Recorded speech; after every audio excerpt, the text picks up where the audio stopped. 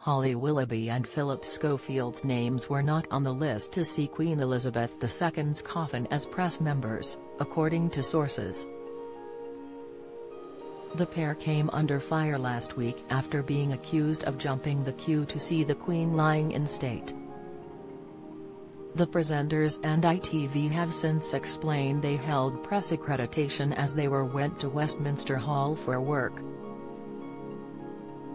But now a source involved in the press list has claimed that Holly and Phil's names were not actually on the press accreditation list. They explained there had been some hoo-ha before the two broadcasters could be ushered into the press pen. The source said, when they got there, their names weren't on the list so there were some discussions and, after some back and forth, Phil and Holly were given access and they were ushered through. The whole thing caused a bit of a hoo-ha, the insider added to the Mail on Sunday.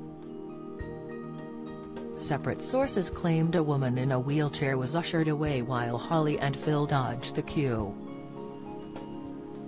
The family of a woman in a wheelchair claimed she was moved aside to make way for the pair as the pair arrived at Westminster Hall. Mia Froggatt took to Twitter, in a now-deleted tweet, to describe the ill-edged situation that sparked national outrage.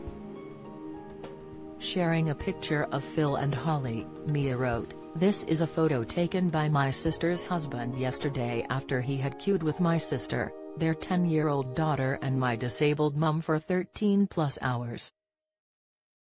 My mum was ushered out of at Holly Wells and at Scofway so they could hashtag queue jumpers without even a thanks hashtag Schofieldgate hashtag queue jumping. Holly defended herself and her co-star from the backlash as she addressed the accusations during a recent episode of This Morning. She said, the rules were that we would be quickly escorted around the edges to a platform at the back.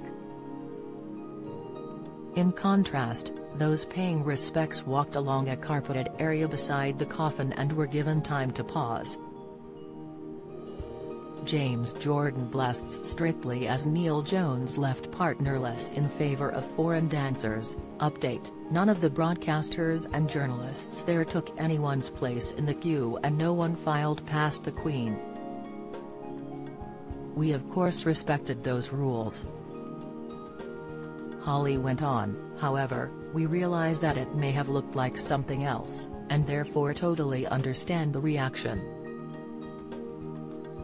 Please know that we would never jump a queue. An ITV spokesperson also clarified that the TV stars were working as they explained the pair did not walk past the Queen's coffin. The spokesperson told Express, This Morning had press accreditation and like other media, Phillip and Holly were escorted to work from the press gallery by government staff. They did not file past the Queen's coffin. They were there alongside a host of other broadcasters and national press outlets for an item that will be broadcast on Tuesday's show. Any allegations of improper behavior are categorically untrue.